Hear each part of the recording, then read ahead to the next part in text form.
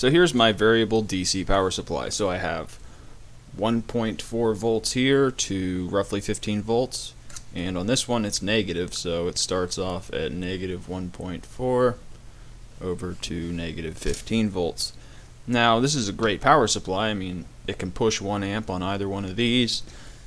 And a feature it doesn't have, which can be useful to have, is a constant current uh, system.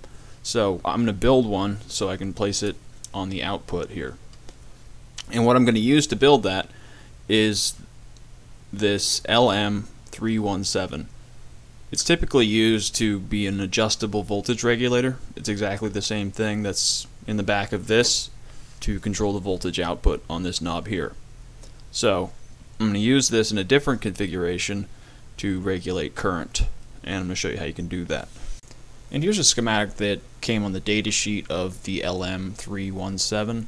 This is an LM117. I didn't see much difference between the two.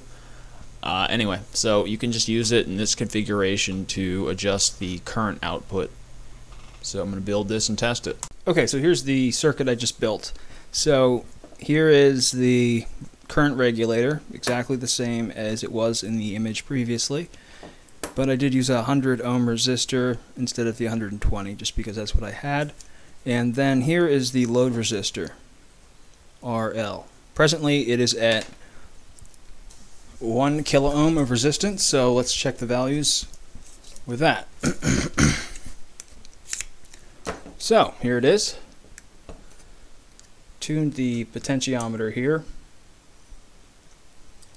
So the current is at 4.32 milliamps. Now if I replace the 1k ohm resistor with let's say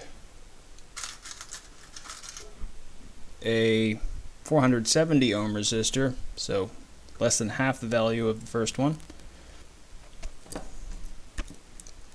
The current stayed the same. The voltage did shift. Previously, I believe it was around 4 something, 4 volts something.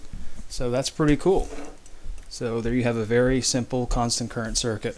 Thanks for watching.